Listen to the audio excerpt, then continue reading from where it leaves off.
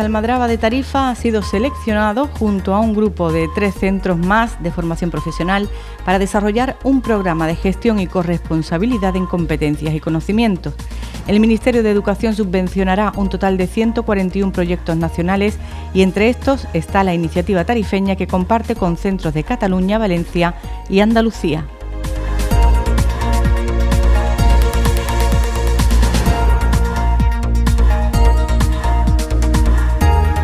El proyecto Siete Vidas de la Asociación Nereide sigue sumando apoyos en la plataforma Ecólatras. Se sitúa como uno de los que más interés genera entre los presentados con carácter medioambiental y aún se puede seguir apoyando.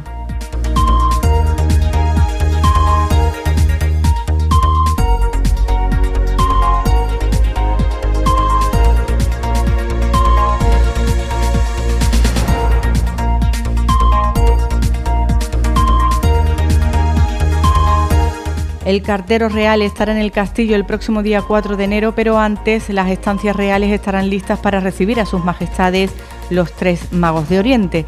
Mientras los escolares ya cuentan con entrada para visitar los espacios decorados del interior de la fortaleza, el resto de la población debe dirigirse a turismo para reservar cita y recoger entrada.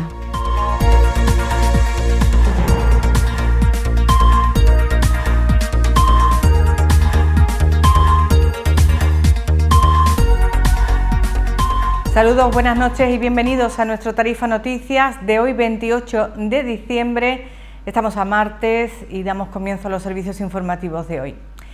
Elías Almadraba de Tarifa ha sido seleccionado por el Ministerio de Educación junto a un grupo de tres centros más de formación profesional para desarrollar un programa de gestión y corresponsabilidad en competencias y conocimientos. Se comenzará en 2022 y el alumnado de un centro catalán, otro valenciano, un cordobés y el tarifeño deberá seguir las mismas pautas mm, formativas para desarrollar cualidades profesionales propias. Una empresa almeriense será la encargada de acoger las propuestas. El proyecto global está dotado con más de 200.000 euros. La profesora coordinadora de esta iniciativa en Tarifa nos lo cuenta en la siguiente información. La provincia de Cádiz va a contar con más de un millón de euros para el desarrollo de ocho proyectos de innovación e investigación aplicadas y transferencia de conocimientos en el ámbito de la formación profesional. Se trata de la promoción que hace el Ministerio de Educación, un programa pionero que implicará a un total de 11 centros de la provincia y entre ellos estará el IES Almadraba de Tarifa. El proyecto presentado por los profesionales de la Almadraba entre junio y agosto está dentro de los 141 seleccionados. Se valora su potencial para generar, compartir y movilizar conocimientos. Destacan así las iniciativas referidas a la industria, a Internet, la robótica colaborativa, la fabricación inteligente, la digitalización e impresión en 3D y la inteligencia artificial. Pero este tipo de ayudas, derivadas del referido Ministerio de Educación y Formación Profesional, se hacen en grupos de centros educativos junto a una empresa. Tienen además como requisito que al menos dos centros estén situados en comunidades autónomas distintas. Es así como Elías Almadraba de Tarifa participa en el programa junto a un centro alicantino, otro catalán, y uno de la ciudad de Córdoba, junto a la empresa Ecoideas Consultoría de Almería. La profesora coordinadora en Elías Almadraba de Tarifa nos ofrecía hoy esta entrevista en la que resumía cómo surgía todo. Este programa al final lo que quiere es proporcionar a la formación profesional, aparte de una visibilidad, proporcionar algo más, un valor añadido, porque día a día en todos los centros le damos conocimientos técnicos al alumnado, queremos ir más allá. Y nuestra idea es centrarnos en desarrollar otra serie de competencias. Competencias, por ejemplo, como la concienciación medioambiental, tan importante a día de hoy en este mundo en el que vivimos.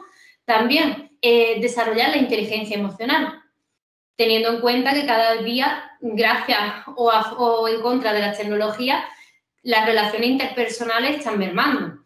Y luego el desarrollo de las habilidades blandas del alumnado ya que a día de hoy son uno de los aspectos más demandados por las empresas. Y también queremos que el alumnado sepa que para estar bien emocionalmente debe partir de una salud física. Al final lo que queremos es desarrollar un poco los talentos, por así decirlo, del alumnado, aportarle algo diferente. Yo siempre le digo a mis alumnos en clase que gente con los mismos títulos que ellos va a haber 500. La cosa es que tienen que tener un punto diferente, algo que sepan hacer o que hagan muy bien y el resto, y el resto no. Y ese es el objetivo al final de, nuestro proyecto de desarrollo y gestión de competencia en formación profesional, ofrecerle un punto añadido. Para ello, los cuatro centros vamos a trabajar y vamos a desarrollar formaciones, actividades, incluso algunos encuentros, para que el alumnado comparta experiencias con el resto de centros también y conozca eh, cómo se desarrollan otros entornos productivos. Y podemos saber un poco sobre esos IES con los que se va a trabajar también. Uno entendemos que está en Córdoba y otro en Cataluña. Eh, digamos que dos coordenadas geográficas distintas, ¿no? Em, ¿Sabéis algo de ellos? ¿Tenéis algún tipo de contacto ya?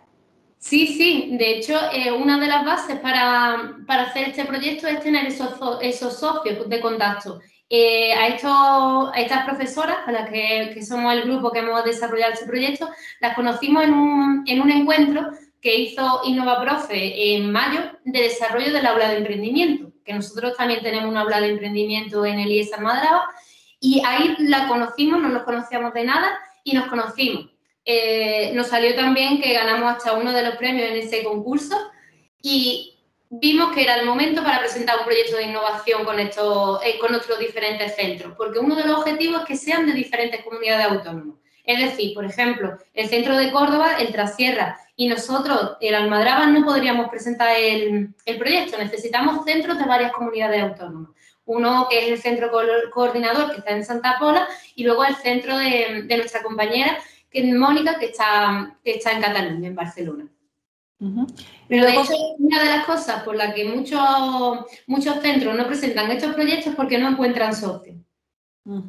Y luego también necesitamos de una empresa que acoja, digamos, o que promueva las ideas que vosotros presentéis, ¿no? En este caso es una empresa almeriense, Ecoideas. Eh, ¿Cómo la describirías?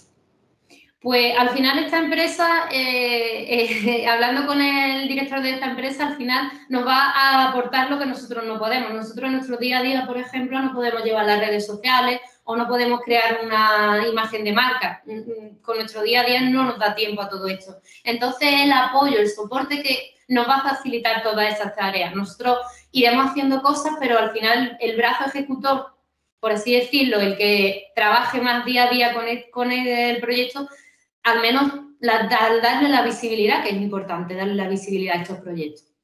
Será esa empresa. Y profesora Ima Duarte, ¿qué hay del alumnado? Eh, ¿Cuánto alumnado hay implicado? Eh, ¿Afectará a todas las aulas de la formación profesional de Tarifa? Eh, ¿O al menos se intentará eso? Claro, la idea es empezar, mm, el proyecto dura dos años, entonces la idea es ir empezando poquito a poco. por ejemplo, a nuestro alumnado de segundo curso casi no le va a pillar ya, porque cuando nosotros empecemos el proyecto ya estarán casi en las prácticas. Entonces, nuestra idea es ir empezando, sobre todo con nuestro alumnado de primer curso y poder desarrollar todo este año y el curso que viene. Nuestra idea es que todo aquel alumnado que quiera participar, que pueda participar en nuestro proyecto. Tampoco queremos obligar al alumnado, por otra parte, pero sí queremos que tengan esta oportunidad. El denominado Programa de Desarrollo y Gestión de Competencias en la Formación Profesional creará una plataforma online que será el nexo de unión entre centros educativos. Todo el alumnado deberá seguir las mismas pautas de comportamiento y los mismos contenidos formativos. Esa es la idea al menos.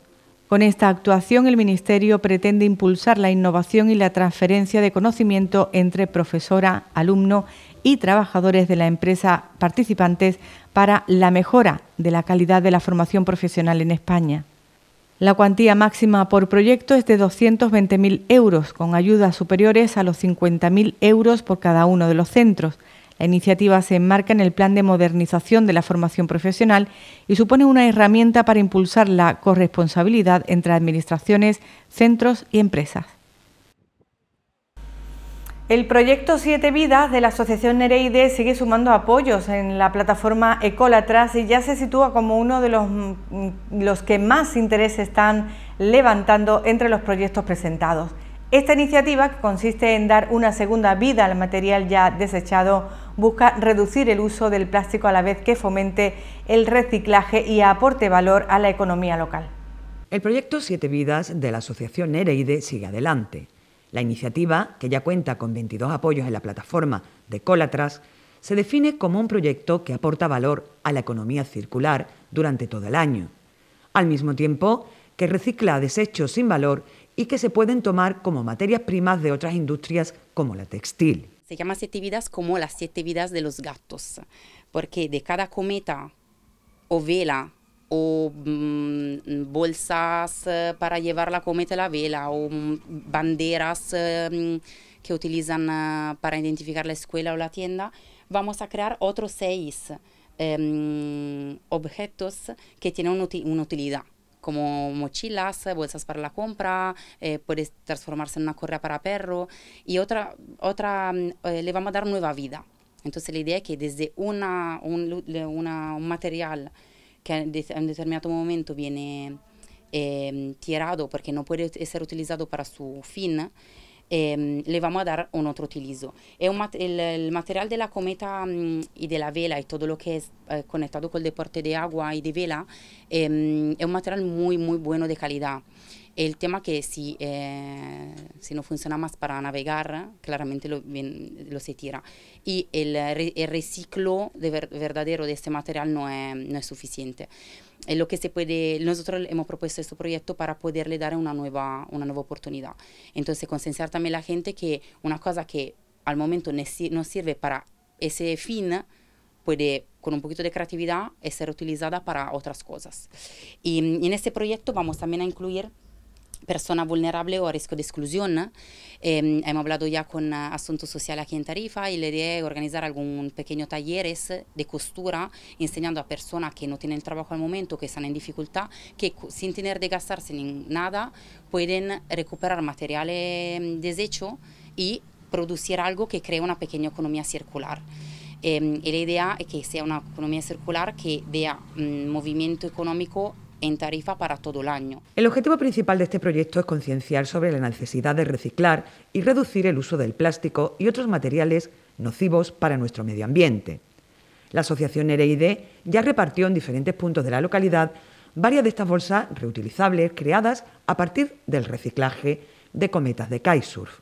Para apoyar esta iniciativa sostenible, solo tienes que entrar en la página web www.ecolatras.es y buscar el proyecto Siete Vidas. Cada apoyo sumado cuenta y es de gran importancia para este proyecto tan solidario como necesario. No solo se trata de darle una nueva oportunidad a todo este material desechado, sino también de poder dársela a nuestro propio planeta. Y atención porque encuentran la cabeza tallada de una mujer en el sótano de un antiguo edificio de la avenida Batalla del Salado. Se trata de una antigua talla con indicios de pertenecer a la época fenicia. Con todo, ya ha sido trasladada para conocer con exactitud su origen. Según los investigadores de la UCA, que se han desplazado hasta Tarifa para reconocer la pieza, nada descarta que pertenezca a la época romana. En Tarifa, hasta la fecha, los, eh, vestigios romanos son contados. En el interior del castillo, por ejemplo, se asoma parte de una antigua calzada. Aunque todo está por resolver, la Comisión Provincial del Patrimonio apunta a que bien pudiera ser la cabeza de la imagen que corona eh, actualmente la rotonda de la, de la citada avenida.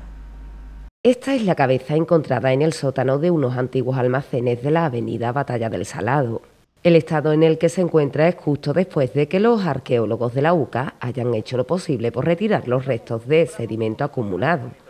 Ha sido hallada en el transcurso de una obra adherida a un bloque de piedra sustraído por una excavadora para la incorporación de pilares de una nueva estructura. Lo cierto es que todos los expertos que han analizado la pieza no se aventuran a decir su origen exacto. Lo que sí tiene claro es que podría situarse entre la época fenicia y la romana, es decir, entre el siglo VI y el siglo III a.C. Por último, existen testimonios fidedignos de que la cabeza puede pertenecer a la estatua del sin cabeza, como ya es denominada por la población general. Las dimensiones del sin cabeza encajan automáticamente con las medidas de la talla encontrada ahora. Será cuestión de tiempo, pero quizás podamos contemplar pronto esta sobrada cabeza sobre el cuerpo solitario que adorna la intersección de Batalla del Salado.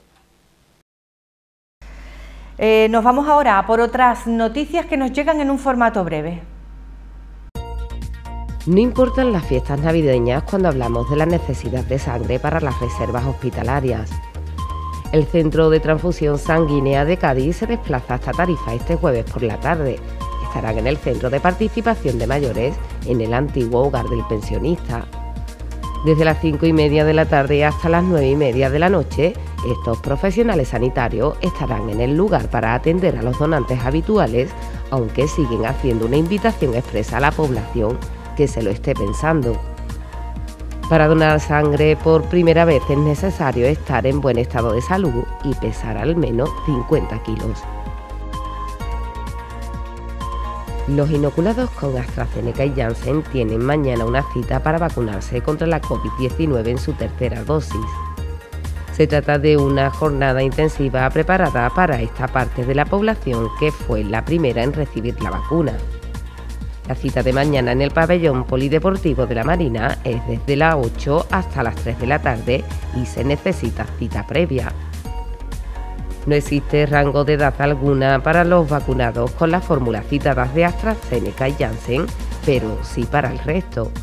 Y es que también los mayores de 60 años están llamados a recibir esta tercera dosis de la vacuna. Aquellas personas que aún no se hayan iniciado en el proceso tienen ahora una oportunidad más para recibir la primera o la segunda dosis de la vacuna. Como decimos a través de los portales de Salud y Salud Responde se puede reservar la hora necesaria para ello.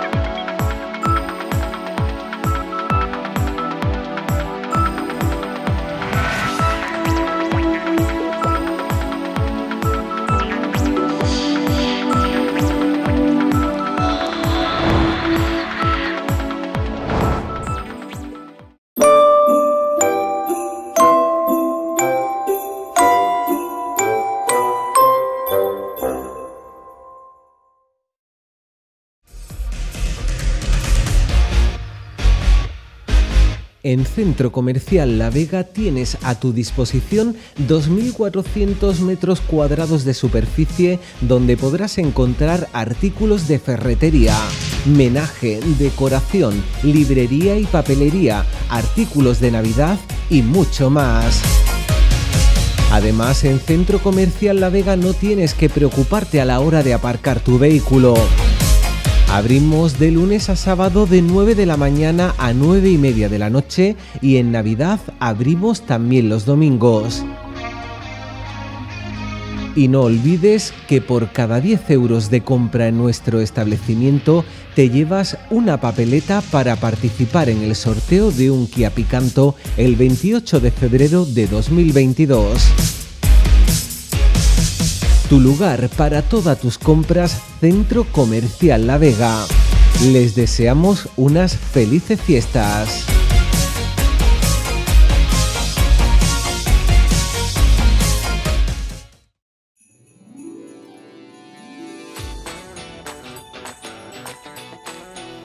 El número premiado en el sorteo del taladro Burt de batería ha sido el 3695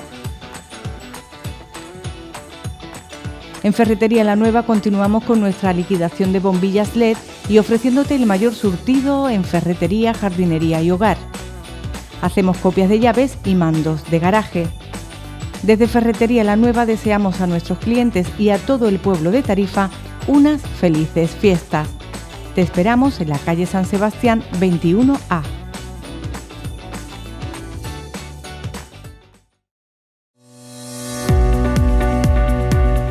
Tu centro auditivo en Tarifa es Audiosur. En Audiosur hacemos tu revisión auditiva gratuita y financiamos tus audífonos en cómodas mensualidades. Seguimos atendiéndote de manera presencial en nuestro centro mediante cita previa en los teléfonos 856 39 33 32 y 689 03 71 87 Ahora, además, para ofrecerte un mejor servicio, si no puedes acudir al centro para realizarte las pruebas, nosotros nos desplazamos a tu casa. Consulta disponibilidad en nuestros teléfonos.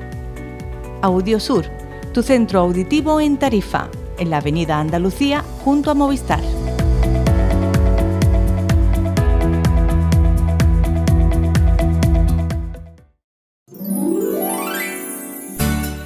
Es Navidad en Joyería Villatoro. Como cada año hemos preparado para ti la mejor selección en artículos de oro y plata, pendientes, anillos, collares. Además este año sorprende con tus regalos de Papá Noel y Reyes con las pulseras personalizadas de Villatoro, tan exclusivas como tú. Y si lo prefieres puedes elegir entre nuestra gran variedad de relojes y la nueva incorporación de la marca Nixon con los modelos que más gustan. Abrimos los días 26 de diciembre y 2 de enero para facilitar tus compras. Esta Navidad regala exclusividad, regala Joyería Villatoro. Felices fiestas.